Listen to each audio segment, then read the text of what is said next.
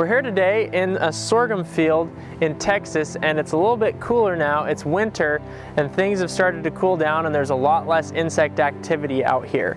But as we take a look at this sorghum, you'll actually see that we can see some sugarcane aphids. And we also see these little gray aphids that look almost exactly the same with those aphids. These aphids are actually the same species, they're just a different color. When organisms of the same species have different colors that they can represent in nature, we call those color morphs. During the winter, you will find sugarcane aphids in this gray color morph, but they're not found typically during the summer.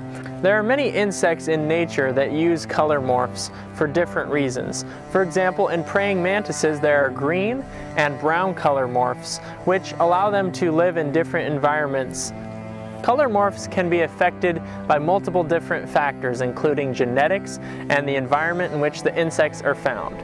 For example, with these aphids, if I take them inside and leave them in a warm climate, the gray aphids are going to stay gray. But if they were reared in a warm environment, then we're probably not going to find as many of the gray ones in that environment. A really cool thing about color morphs for those of us that love to collect insects is that sometimes you can find rare color morphs of insects that you would not expect.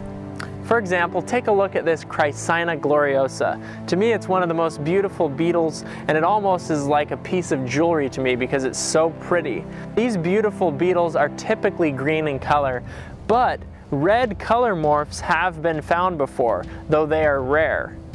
And even more rare is this purple tinged one, which there has only been one recorded example so far found.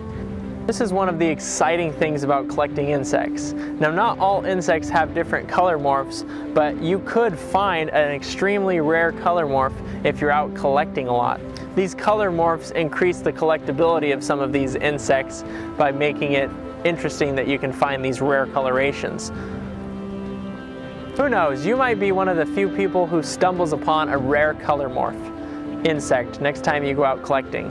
That's why it's important for us to go out and collect often, keep our eyes open, and always be trying to learn new techniques and about these insects so we can share them with all sorts of people so they can enjoy them just like we do. Thanks for watching this episode. Here's some more videos that I recommend you watch if you want to learn more about insects and collecting so you can become a master insect hunter as well. And make sure and subscribe to our channel for all things insects.